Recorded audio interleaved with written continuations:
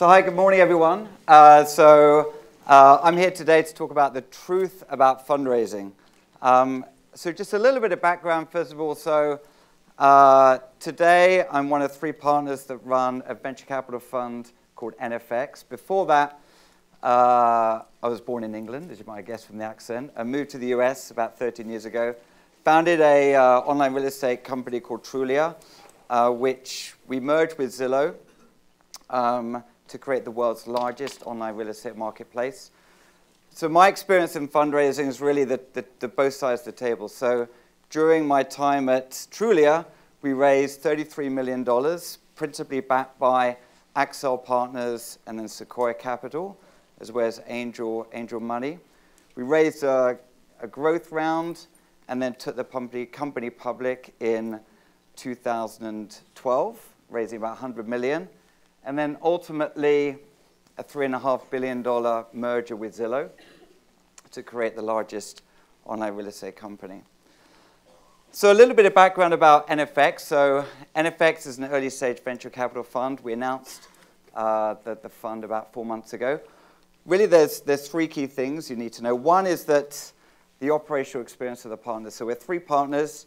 Collectively, we've founded about 10 companies that have exits of $10 billion. It's a very unique set of operating experience. We invested about 300 companies collectively in different markets and different sectors. We focus on early stage, seed stage investments. Two is that we, we kind of think that venture capital is kind of antiquated. And we want to shake things up. We want to really do a better job both for founders as well as for our investors as well. And we're, part of the way we're doing that is infusing with technology. So we're software entrepreneurs at heart, and we're building software to help us to do a better job of what we're doing. And the third piece is that we are investing in network effect businesses. So NFX stands for network effects. Um, network effects, as many of you know, is the property where the more people use a product, the better it gets for every other product, every other user. So think of obviously Trulia, a real estate marketplace. Think of Airbnb. Think of Facebook. Think of platforms really the property, the bigger the company gets, the better it gets. So the, just a thesis around that, why we, why we do that, we've looked back in time and realized that 70% of the value in technology has been created by companies that have network effects at their core. But only 20% of startups have network effects at their core. So that's our, that's our focus. And we're very deep in this, uh, in this thesis. So you can go to nfx.com and check out more about what we do. We have playbooks and, and identify 13 different types of network effects. Direct network effect, two-sided network effects, protocols, marketplaces, market networks, really about providing defensibility for the company to help it survive and scale. So I'm going to talk next about seven truths about fundraising, things that I've learned both as, as an entrepreneur raising capital as well as, as, a, as an investor. So one, if you don't tell a VC you don't have competitors, you're communicating ignorance. so firstly, VCs look for big markets. And we, VC is an outlier business. Getting huge exits is critically important. So if you're not attacking a big market, you, you, if you won't have competitors, so it's critical that you communicate that you have competitors. The views that investors look for are direct, adjacent, and potential. So understanding your competitors and identifying them typically in the form of a spreadsheet. What are your direct competitors, adjacent, and then potential competitors? And understanding in that spreadsheet around the strengths, weaknesses, funding, location, scale, what are the KPIs? Like being dismissive of your competitors is just a immediate rejection from investors. So understanding step by step, who are your competitors, who are your potential competitors, what are their strengths and what are their weaknesses, and most importantly, is understanding what is your competitive edge. What is it you do uniquely that your competitors either cannot do or will not do? And your investors are going to ask this, and if you don't have an inside view and deep understanding of your competitors, then you're going to get rejected. As I say, great athletes know their competition, so do whatever you can to understand your competitors. That means phoning out former employees, that means going through their job, uh, job specs, speaking to uh, people that partner with that company, deeply understand your competition. So you've all seen these matrices. I personally prefer these as a way to understand, uh, understand competitors. So Airbnb in their original pitch decks, two axes. One is affordability, and the other is online transaction. Understanding how you fit into the competitive landscape and how difficult it is for other participants in that market to move into, uh, into the area that you look to define. For Trulia, this was our competitive matrix. We, we on the vertical axis was a great user experience. How do you provide incredible, easy-to-use, consumer-friendly experience? And on the right is a, on horizontal, is packing that full of content. And in, in our view, when we were pitching Trulia to the likes of Sequoia and Accel, uh, understanding what our competitors could not do to enable them to enter the competitive space that we look to, to dominate. So two, nearly every successful fundraise is driven by scarcity. So it may be a surprise, but VCs are human too. And they, have a fear, they also have FOMO. They don't want to miss out on the incredible opportunities.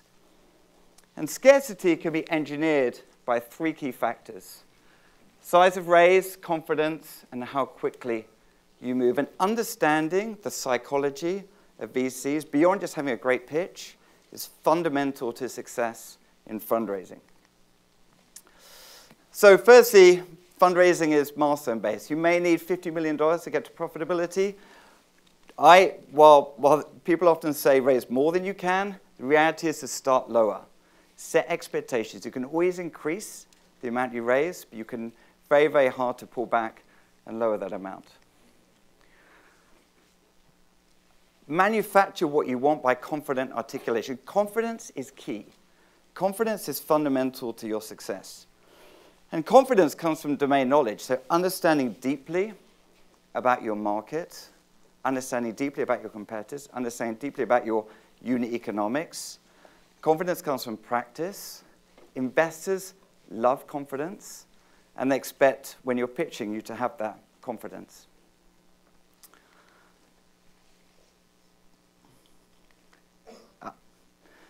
So third, speed is, uh, speed is critical. So when pitching investors, speed is against you. Investors want to drag the process out. So investors' time is their friend. Investors say, well, if I wait three months, I'm going to get more data around how a company is doing. I'm going to get more insights. I'm going to do more diligence. I'm going to track competitors. But fundamentally, you need to move fast because as, as a startup, speed is often your greatest asset. So moving fast, creating a sense of scarcity, confidence, managing the process is fundamental to your success. And ultimately, the deal is not done until the money hits the bank. So, so frequently, uh, and, and, and unfortunately, many, many founders uh, get term sheets but don't close the transaction for a variety of reasons. Fundamentally, it's about getting the money in the bank, and don't let down and don't slow down until that's done. So, understanding the psychology of investors and the behavior, how you act, is fundamentally critical for your success. So, three, your network is the power of your hunger. So, I moved to the US uh, in 2013, and I didn't know anyone when I moved to the US. Literally, I didn't know anyone. Uh, and I was fortunate to go to a good grad school, so I managed to tap into that network there. And the reality is, very few people are born connected. They're just hungry. I network my way through to investors, through to my business partner, through to early employees. And this is a skill that you have to develop. It's not, if it's not a skill that's innate with you, that's fine. But maybe being a founder is not the right role for you. And, and VCs know this. They look you, they look, they identify, they look for skills and traits for you that, that demonstrate your ability to network and scale and ultimately raise money. A key, uh, a key principle around networking uh, really evangelized by Brad Feld is give first. If you're networking and looking for to take, you're unlikely to be successful. Fundamentally, fundraising and networking is about giving. How can you connect with others and give them something first, and then you'll receive? Uh, and critically important, your network drives warm introductions, drives closure. Raising money through cold emails doesn't work. I get hundreds of cold emails a week. It's very, very hard for me to filter that through. When I get emails from warm introductions, people that I know, people that I work with, people I went to university with, I'm going to give that a second look. You're wasting your time nine times out of 10 if you're making cold, if you're sending cold emails to entrepreneurs. And then NFX uh, is trying to help to solve this problem by, we launched our own tool called Signal, NFX, which facilitates warm introductions. This is a completely free piece of software available to any entrepreneur to connect with over 6,000 investors. Just to give you a sort of example around this. So this is my, uh, my partner, James. And the nature of this tool, it plugs into your Gmail and helps you identify who can give you the warmest introduction to James. So Amy or Millie or Kevin can make that introduction to James. So understanding way, way more advanced than, say, LinkedIn, who can make the warmest introduction to people. So we have 6,000 profiles. You can search uh, by different characteristic, name, sector, location. Uh, and then if there's investors that are not on the platform, you encourage them to add, uh, add their profile to the platform. So signal.nfx.com. So four, just like a startup, optimizing for the long term is critical. You need to hit short-term goals, whether that's metrics or that milestones or fundraising, but fundamentally it's about long term. And the founders that are able to do this, the founders that can figure out what is the, uh, the founders that can execute and hit uh, their long-term goals and uh, hit, focus on the long term are more likely to be successful. Uh, so by way of example, um, so I met, I pitched Sequoia before Trulia launched uh, back in around 2005. And they turned us down, and we went and raised angel financing. I pitched them again uh, for the first institutional round. They turned us down again. And then about two years after we launched, I saw them again. Uh, and this time they invested, although at about 10x increase in valuation from, from what I did originally. And you know, not only did I think we have a, we have a good business, but critically, we I said to them at the partner meeting, uh, you know, I pitched you guys two years ago. Go back and look at the deck that I presented and see how we compared to what we said we were going to do. And we did everything we said we'd do and a few more things as well. And, you know, that's the biggest validation I think that we had at that time, that we said we were going to do something, we delivered on our promise, ultimately we hit our plan. Um, and investors look for that. Many of the great investors, you'll meet them early on, You'll tell them what you're going to do. And if you deliver on that promise, they're so much more likely to invest in you. And trust is like traction. Trust is very, very hard to earn, but once you have it, it's hugely important. And trust is about how you interact with investors, how you deliver on your promises. And once you have it, clearly like traction, the benefits are enormous. And again, uh, thinking about the long term, the, the fundamental success is often about not optimizing for, for valuation, but it's really about what are the right terms that you can structure.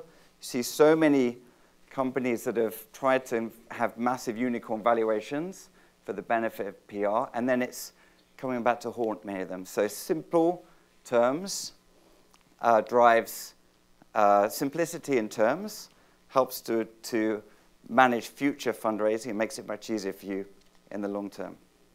So five, what do they say? Timing is everything. And the formula for yes is a combination of market timing, product timing, and company timing. So, and we, so we all think of venture capitalists being comfortable with risk. The reality is they're not.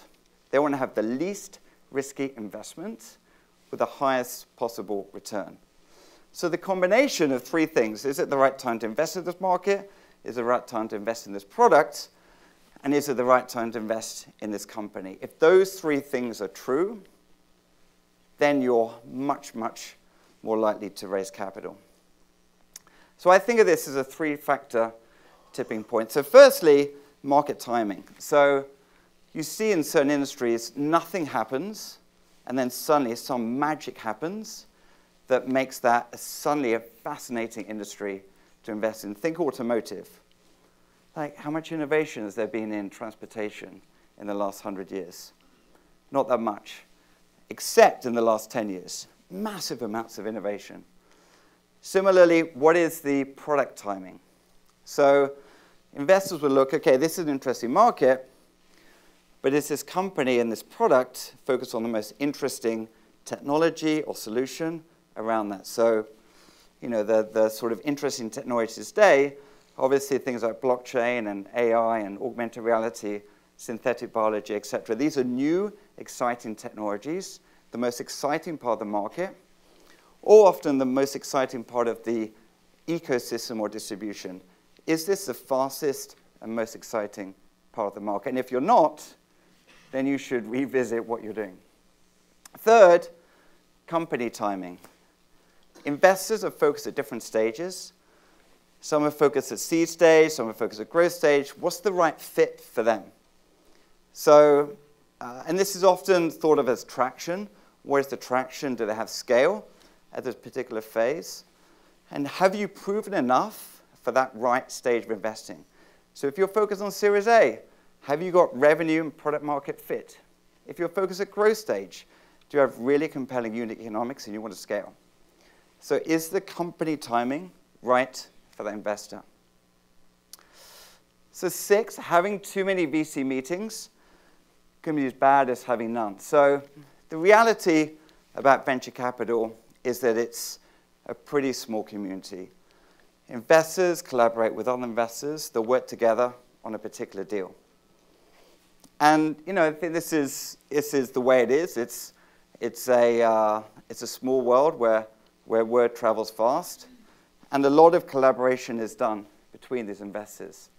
And so if you're, and if you're fundraising, clearly if you're meeting with no one, it's a, it's a problem if you're clearly meeting with everyone and you're trying to sort of scatter yourself, trying to connect with thousands or hundreds of investors, you're not going to be successful because you're not able to dedicate the time to understand what is that investor really focused on and how you can communicate and convince them.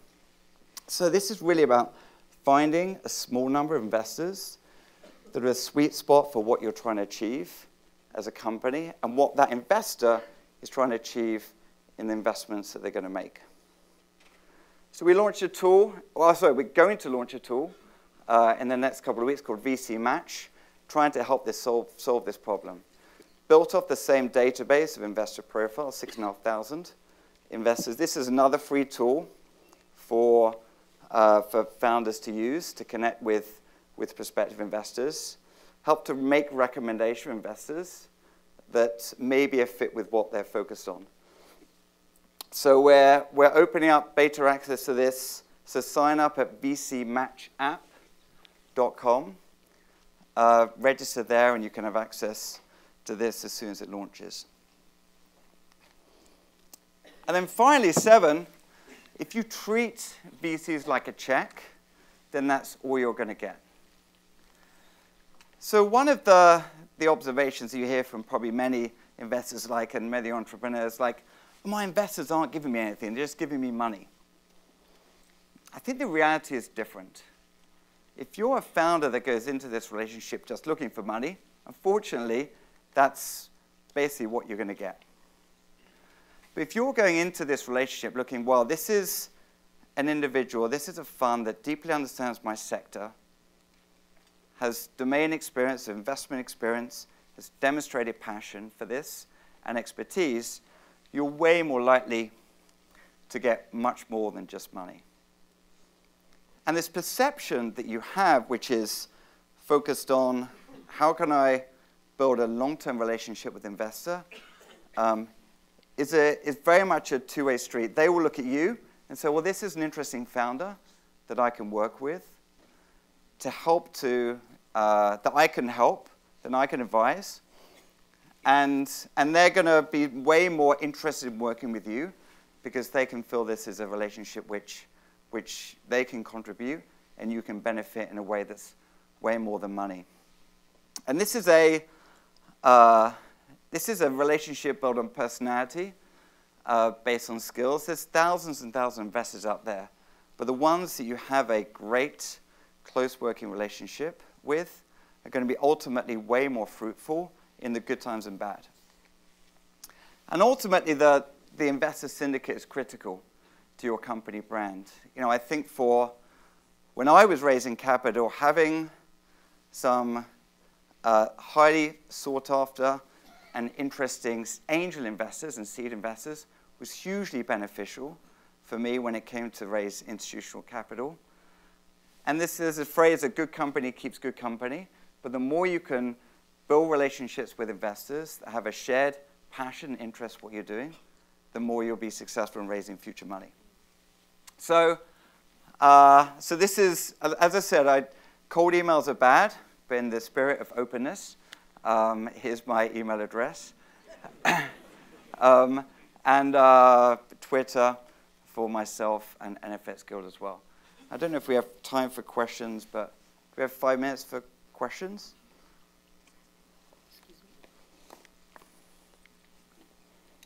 It was a very good presentation. Thank you so much. Uh, I want to know that what do you know right now you wished you knew when you started your career? So what did I know right now that I wish I knew when I started? Um, what do I wish I knew? I mean, where do you start? Um, uh, so I think the, um, I think that I could answer that question in many ways. I think some of the, the, the on the fundraising side of things, I think there is a, uh, no, I'm going to I'm going to flip the question around. I think if I actually if I actually knew everything that I did at the end of it, I would never have started a company. Because it's frigging hard. Um, is incredibly hard. So actually, so if I if I knew everything, I would have like probably that's a really bad idea. I would never do that. Um, and that, in a way, is like the reality of entrepreneurship. In that the, the it's often that um, optimistic, naive outsider that's looking in industry and says, well, I think there's a better way. And it is illogical and irrational to start a startup quite often. And so you need that kind of irrational optimism to be successful. So, you know, I like naive, you know, naivety is a good thing. So there's lots of execution things, but at a high level, I think being naive and optimistic is critical. Oh, so many questions. There was actually him before, sorry. Hello. Uh, why did you select to move to US instead to stay in Europe? What's what's better in US for fundraising or networking? I don't know. Uh, so fundamentally, um, and the, there's US and there's the Bay Area, but for, for me there is a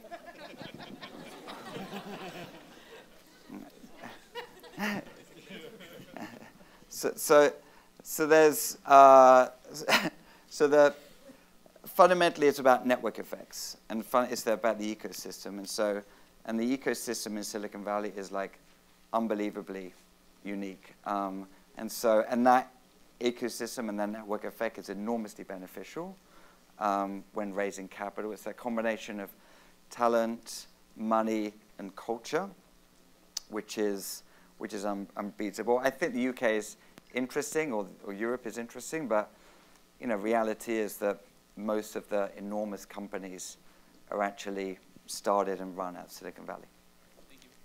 Pete, I wanted to find out when, it, when you talked about competitive edge, I'm kind of always curious how VCs pick, for example, someone like Truly and, Z and Zillow when they were competing against each other, Lyft versus Uber. So in that type of competitive, what would define a competitive edge between the companies that have similar models?